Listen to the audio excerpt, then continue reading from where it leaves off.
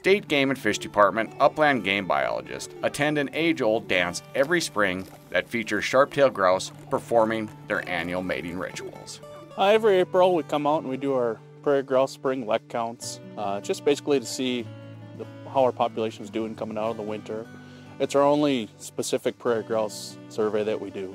Biologists have counted sharp-tailed grouse for decades in an effort to come up with a population trend. Uh, we have 25 active routes spread across the state.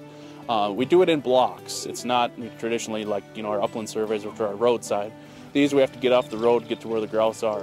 And it's basically a township block. And we have 25 of those spread across the state that we're actively counting right now. And if you've never been to a sharp-tailed grouse dancing ground or lek, you're missing out. Their mating display is, is a dance that they do. It's a type of dance.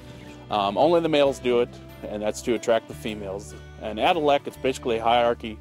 The middle is where the females will go.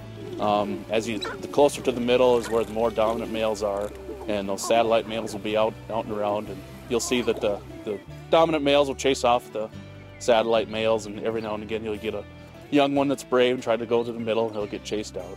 Gross says the annual counts rely on partnerships with private landowners. So we go and we develop relationships with these landowners. You know, this particular block that we're at today, we've been doing it for 60 plus years.